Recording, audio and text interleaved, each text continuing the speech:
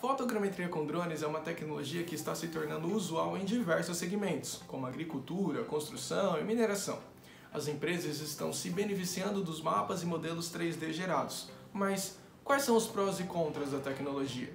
O principal benefício de trabalhar com a fotogrametria é a acessibilidade atual.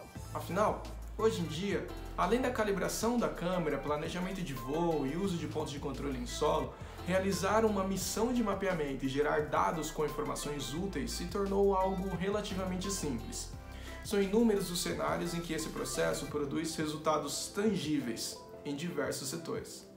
É importante que os resultados também sejam acessíveis e a fotogrametria possibilita isso. Com a geração de mapas e modelos com cores e recursos intuitivos, se torna uma ótima ferramenta colaborativa e algo possível de se trabalhar sem perder muito tempo manipulando os dados. Outro grande benefício da fotogrametria é o seu preço. Afinal, é possível começar o investimento com a compra de um drone e um software de processamento de dados, que nesse caso pode ser comprado definitivo ou por assinaturas mensais. Finalmente, a fotogrametria oferece uma abordagem mais flexível. Porém, existem algumas desvantagens. A primeira é que a precisão dos mapas e modelos depende muito da qualidade de câmera do drone. O tamanho do sensor, a abertura, a resolução e o comprimento focal afetam diretamente na resolução do mapa.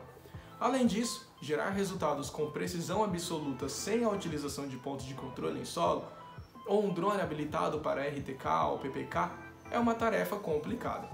O segundo desafio enfrentado pela fotogrametria é o clima, ou para ser mais específico, as condições de luz que podem afetar negativamente a qualidade de seus resultados. Afinal, quando se trata de processamento de imagens, você só pode medir o que visualiza claramente.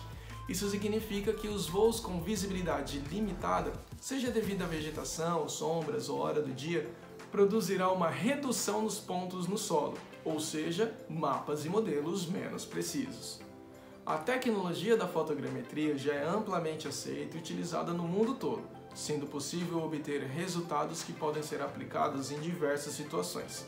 A Drone Visual possui cursos de mapeamento profissional com drones, Caso deseje saber mais detalhes, entre em contato conosco. Deixe seu like aqui no vídeo, se inscreva em nosso canal e até uma próxima!